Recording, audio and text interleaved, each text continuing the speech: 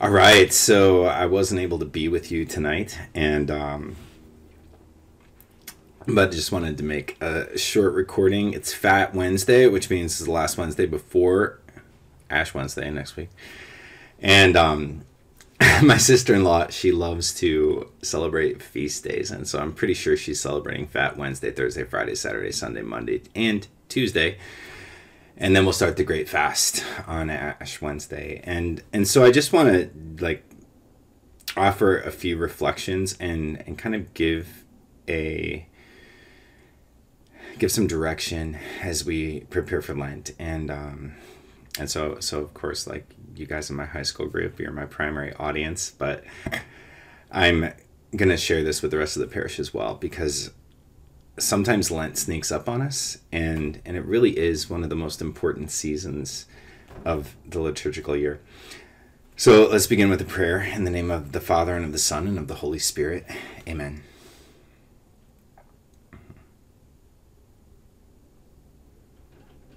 Heavenly Father, we invite you into this space and ask you to send your Holy Spirit upon us to bind us to our Lord Jesus Christ, that every thought, word, and work of ours may begin with you, and through you be happily completed through Christ our Lord. Amen. In the name of the Father and of the Son and of the Holy Spirit. Amen. All right, so so as we're beginning, there's a, there's a little bit of review of things that you probably already know, and uh, and hopefully you know nobody's fallen asleep yet, and everybody's got enough snacks, right? Like we you know who you are. Um, so Lent is 40 days, right? And and we ask the question, okay, so why is Lent 40 days and what is it about that?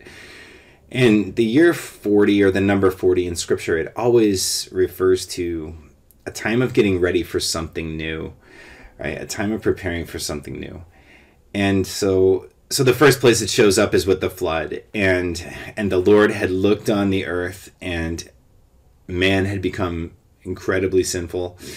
And um, we just had this reading at Daily Mass the other day, and, and it speaks of how God is sort of like, I need a do over, right? Like, I'm going to destroy everything. And then Noah finds favor with God. And so the so God, the Lord, he says to Noah, like, build me an ark. and then I'm going to send rain upon the earth for 40 days. And so Noah builds the ark, right? He saves seven pairs of every clean animal, one of every unclean animal. That's something that always struck me when I was young. Um, because it means there's always seven times as much good as bad, right?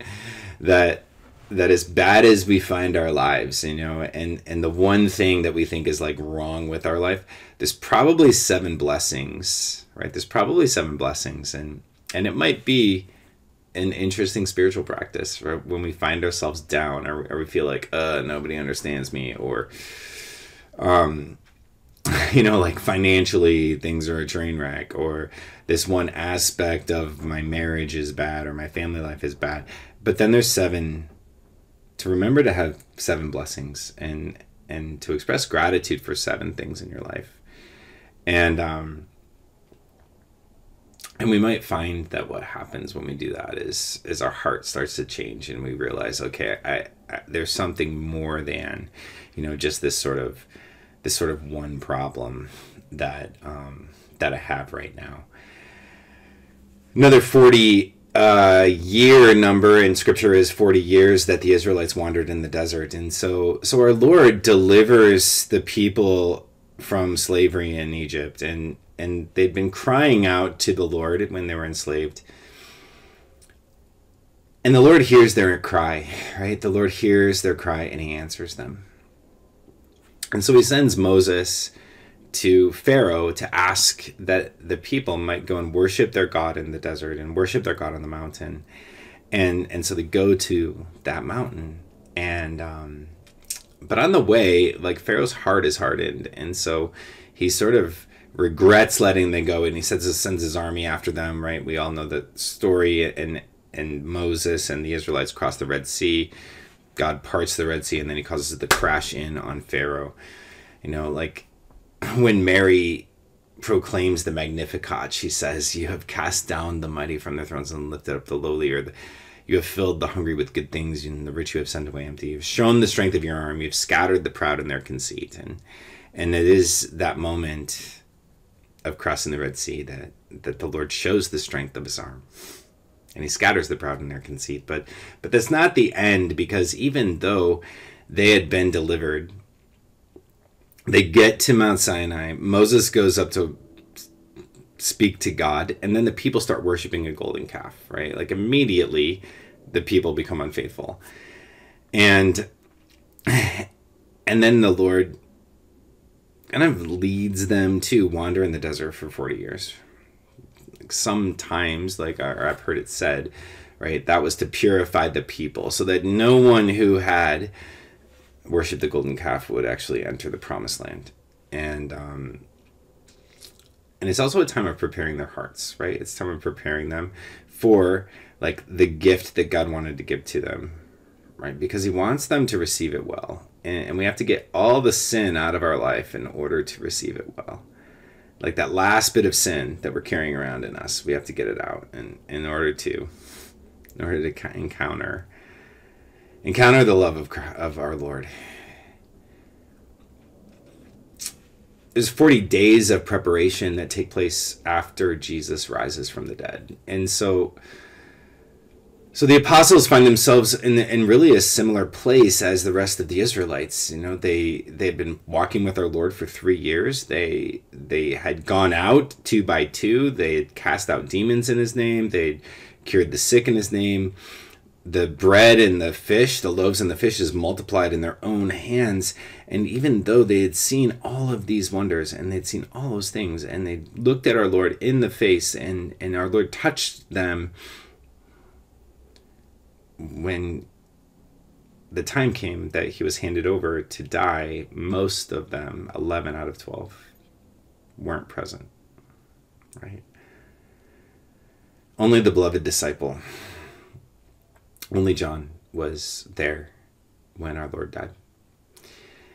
And so so there's hope in that. When we tell that story, we should find hope in that because that means insofar as as I've made resolutions in the past to be faithful and then become unfaithful or I don't follow through or or I have a difficult time, you know, keeping up with my prayers.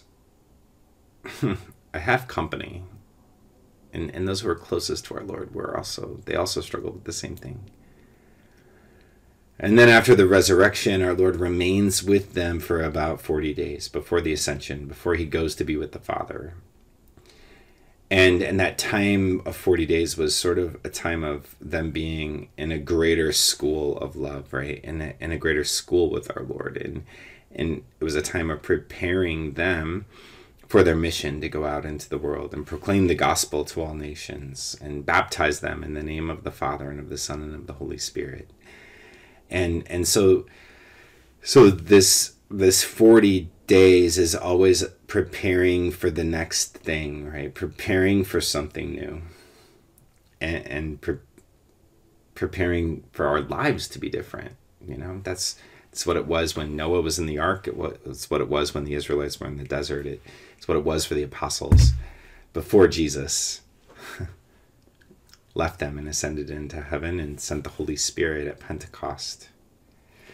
And and so we might ask ourselves, what are we preparing for? So so in a very direct way, every year we celebrate this season, this 40 days of preparation. And and the tradition of this 40 day fast, it, it began with catechumens. It began with those who were preparing for entry into the church. Those who who maybe weren't Christian, they live were living pagan lives. They might have been living really sinful lives, and then and then they they heard the gospel proclaimed, and they realized like, okay, there's something I want there, and and I want to have this this abundant life that I'm hearing about. Like I want to have joy, and and I want the I want more. You know, I want more for my life, and and that's something you've heard me say on Sundays a lot, right? Like I want more and there's a desire for more. And so so those who are entering into the church they would fast for 40 days in order to prepare themselves to receive the sacrament of baptism. And so in our own parish we have at the Easter Vigil this coming year, at least, right? At least um, three young people receiving confirmation, one young person who will receive his first communion. Um, we've got, and then we're praying for a couple of others, right? We're praying for a couple of others, and um, and so for for those of you, like those of you young people who are preparing for confirmation at the Easter Vigil, this is a very specific time of preparation. It's a specific time of preparing our hearts. It's a specific time of of fasting in order to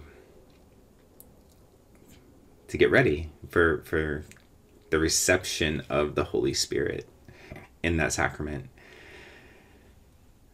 And the rest of us are all fasting and praying for you, right? So during the season of Lent, we, we pray especially for the catechumens. We pray especially for those who will enter the church at Easter.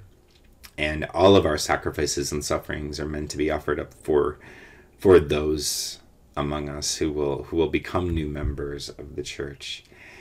And and it's also a time in which at the Easter Vigil, at the Easter Masses, each and every one of us can remember back to our own entry into the church and we renew the commitment we made to live our lives. And and so when we renew our baptismal promises, we we're asked these three questions and and so these three questions can become a sort of format or they they become a, a pathway to discerning what is my prayer fasting and almsgiving going to look like. And and all of us will answer i do to these questions. And and the goal is that our i do means i do right? Our i do means i do. Our i do doesn't mean i guess right? It doesn't mean i guess. You can imagine like if there was a married couple at their wedding and you know, do you promise to be true to her in good times and in bad, in sickness and in health till death do you part? I guess so. Like the uh, like leave the altar right now if that happens. And and so your I do has to mean I do. And and to be a firm resolve, right? It should be a firm resolve. And, and to realize also that it's possible to say I do to these questions. And and so we're preparing to say, you know, we reject Satan, we reject all his works, we reject all his empty show, all his empty promises, and we believe in God, the Father Almighty, creator of heaven and earth. We believe in Jesus Christ, his only Son, our Lord. And, to believe in Jesus Christ means I believe that he is the one who gave his life so I can live. I believe that he is the one that has the ability to bring unity where there's division, that he can bring unity to my own heart, that he can transform my life. And all is empty show. I, I reject all of the lies I start to believe. I, I, I, reject the lie that everybody's against me. I reject the lie that I have to get through life on my own. I reject the lie that people are untrustworthy. I reject the lie that God loves everybody in the world except for me. I reject the lie that God only loves me because he has to love me and there's nothing unique, exclusive, or unrepeatable about his love for me. Like, I reject all of that. Because I don't want any sin left in my heart, right? I don't want any sin left in my heart. And and for those of you who struggle with perfectionism, understand, right? Progress, right? Progress, progress striving. Sarah Swafford always is like, she gives talks to women and she's like, ladies, repeat after me. Striving, striving, striving. Right. And, and so sometimes when people are in addiction recovery, they, they say progress, not perfection. Right. Like I can't focus on being perfect. I have to focus on progress that, that I have my whole life to be holy, to get holy we want to do it as soon as possible like we want to speed it along but it all works in our lord's own time and, and we do he's merciful and he waits and, and we have our whole life but but we don't want to intentionally put it off. We don't want to intentionally put it off. And um and so so these three questions is what we're preparing for. We're, we're preparing to be able to give a very firm and solid and resounding answer to those questions when they're asked at Easter. So how might we prepare for that renewal? We these are the three things that we always do during Lent. We we prepare through prayer, through fasting, and through almsgiving. And and so prayer like is this friendship with God. Like prayer is about friendship with God. It's about friendship with God. You know, it's not about knocking it out. It's not about checking things off of our list. It's about friendship with God. So we might have a list that helps us to be friends with God, but it has to be about friendship with Him and friendship with the Lord and sharing our hearts with the Lord and and really like coming to know Him in a deeper way. And the purpose of fasting is is to set aside the things that get in the way, right? To set aside the things that get in the way you know and if if i find myself whenever i'm in distress seeking refuge or comfort or like i'd rather eat 15 cookies than than share my heart with people um, or i'd rather zone out on netflix than then i'll go and like spend time with our lord and if i've got a problem and uh and i'm not taking it to our lord right so fasting is about saying no to the things that get in the way. Saying no to the things that get in the way. Fasting is not simply about fasting for fasting's sake or suffering for suffering's sake. It's it's a tool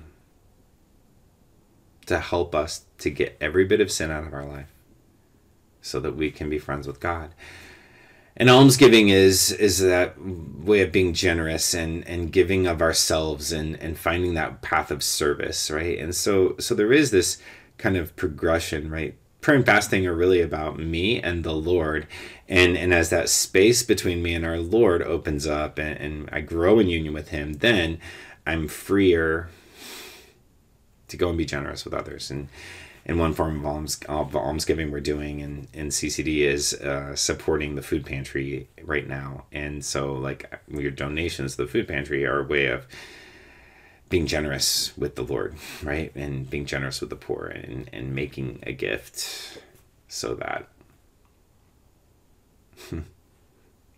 making a gift being a gift to others so that maybe that other person realizes oh there's something real about those Christian people. You know, those Christian people, they actually do love me. And they live their lives differently. And I want to be part of that, right? I want to be part of that. That's the goal, right? That's the goal. And uh and so what specifically should we do? Like how do we decide what do I do for Lent? Like what does my prayer fasting and almsgiving look like? What's it going to look like? And and that really is something that's unique to each person. And and it's it's we have to take some to step back and ask ourselves okay like what what is the thing that that getting in the way? And so john 15 is where jesus talks about the vine and the branches. And he says i am the true vine and my father is the vine grower he takes away every branch in me that does not bear fruit, and every one that does, he prunes so that it bears more fruit. Hmm. you are already pruned because of the word that I spoke to you.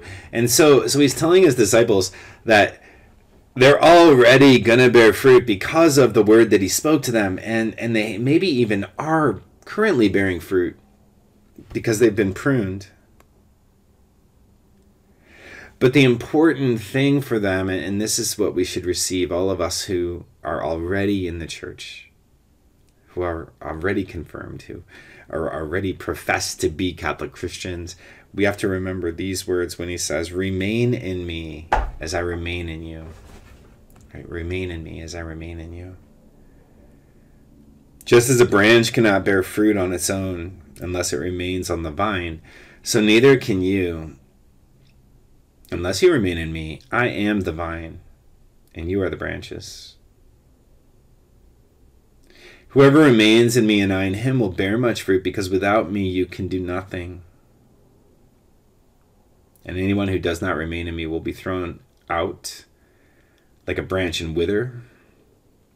People will gather them and throw them into a fire, and they will be burned.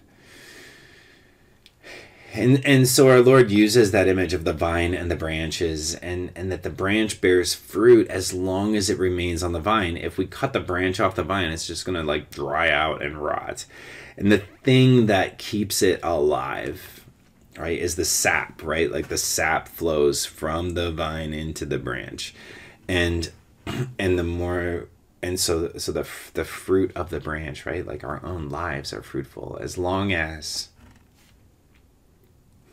the sap is flowing into us and and the sap we might consider is the holy spirit right the, and as long as the spirit is active in us we start to we bear fruit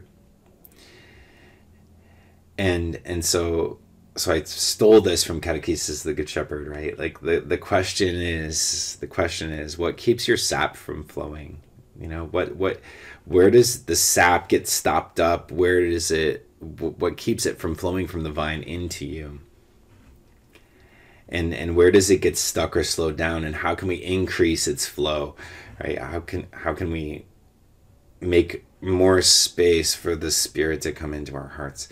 and and really change our lives so that we more naturally do the good right we more naturally love others we we don't have fear worry anxiety desire to control people desire to tell everybody how holy we are because we don't need to because it's obvious in the way we conduct our lives. And um and so so that's the question like what keeps your sap from flowing?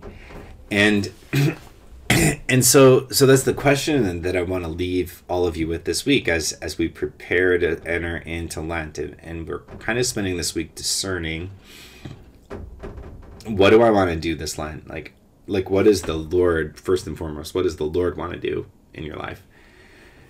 And and so I'm just going to give you some time to journal a little bit and um and so using the baptismal promises just ask you to journal right now like what are the things that are holding you back? What are the things that slow down your sap right? And so what are the sins in your life that keep your sap from flowing and they might be any of the generalized deadly sins. It might be pride. It might be gluttony. It might be lust. It might be avarice or the love of money or things or possessions. It might be like seeking after popularity. It might be sloth. I'm just lazy. It might be like like any of those things, right? Like what are the sins in your life that keep your sap from flowing? And sometimes sometimes it's obvious because we're stuck in like things that are very obviously sins. Sometimes it's not so obvious because because sins like pride, um, oh, like sins like pride are so much harder to discern when they're present than like other sins. Like it's very obvious, you know. Like if somebody got struggles with drunkenness and they they end up getting sick the next day, well, it's obvious that you committed that sin, right? Um, pride is like so much more subtle. And and so so just like take some time like what are the sins that keep your sap from flowing? The second question is um like what are the resentments unforgiveness or hurts that have atrophied your trust muscle? So so i reject satan. That's all the sins. I reject all his works all the sins that have been committed against me.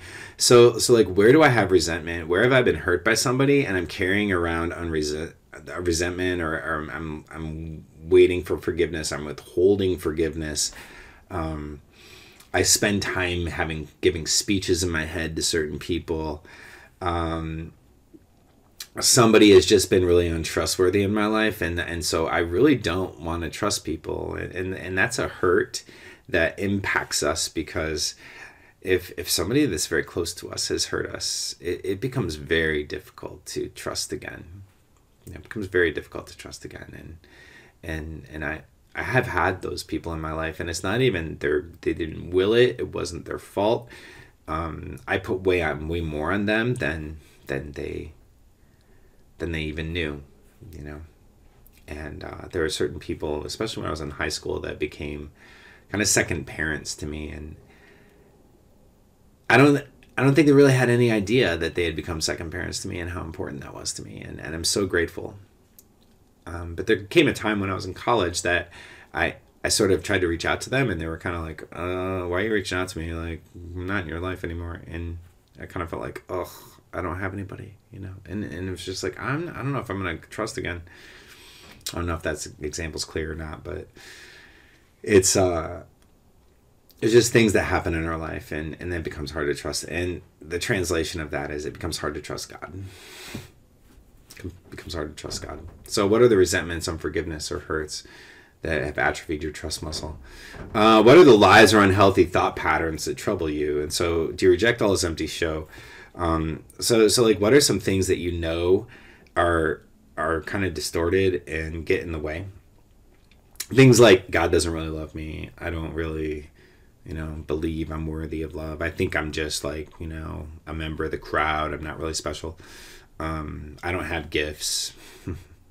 like any of those things. Those are just lies. They're just junk. And uh, and they need to they need to go.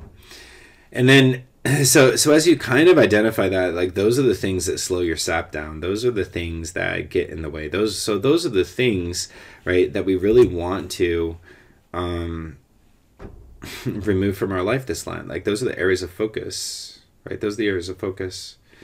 And and so so then during the week um i just invite you to uh to consider what prayer fasting or almsgiving might might you take on in order to renounce the things on your list in order to to to sort of remove those things from your list in order to heal the things on your list.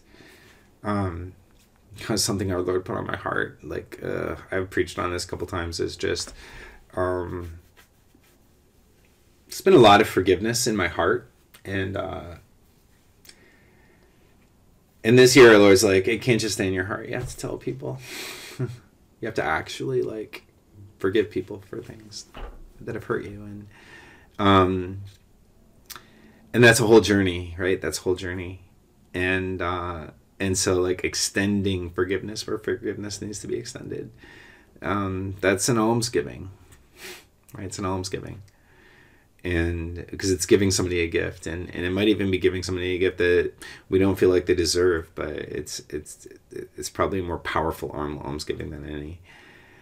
Um, you know i also like maybe i just notice that i eat my emotions too much and and i need to give up my favorite snacks. So, um, so we're gonna give up snacks, and uh, and at CCD on Wednesdays we probably will like change snacks. You know, uh, maybe we'll just have healthy vegan snacks or something, and uh, so um, so what what are the things? What's the best remedy? And and maybe you can reflect on that, and uh, and if anybody has like kind of questions about that, you know, I don't expect you to to share with the world the things that were on your you know previous list on this list. But um but we might share about like okay what are the prayer fasting and almsgiving that we want to take on? And and in our own like small group our high school group um we might talk about you know what um what's a communal kind of prayer fasting or almsgiving that you want to do together? Or is is there some prayer that you want to commit to praying like for each other. And and that can be something simple like like we're all going to pray an our father every day for each other.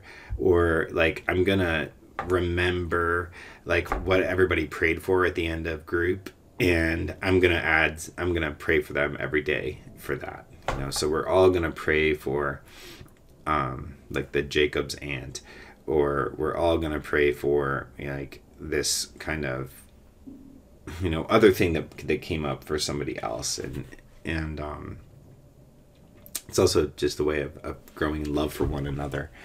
Um so that's that's all i've got for this week. And uh so i'm gonna leave it to you. Enjoy the rest of your fat wednesday. Um, there's ice cream in my fridge in the basement for those of you who are meeting in my house right now. And um so that i'm keeping you in my prayers. And please keep me in yours as i uh I'm giving a bunch of presentations in Lansing the next few days. So, in the name of the Father, Son, Holy Spirit, Amen. Lord Jesus, we just ask the grace to to have true self knowledge and to grow in virtue during this Lenten season. Prepare our hearts during this time of, of, preparation and retreat. We pray especially for all those who are preparing for confirmation that that this will be a time of growth and, and openness to your grace and, and that your grace may may truly take root in all of their hearts. Renew in each of us the resolve to get every bit of sin out of our life, everything that slows down our sap that that we may glorify you in the way that we live and and that the way we live will reveal the grace the love the mercy the healing that that comes from you alone. And through the intercession of the blessed virgin mary saint joseph and all the saints may almighty god bless you the father the son and the holy spirit. Amen